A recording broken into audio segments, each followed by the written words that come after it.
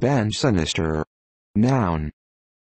1. Heraldry, a diagonal band on a coat of arms going from top right to bottom left, as you look at it. Held to indicate bastardy.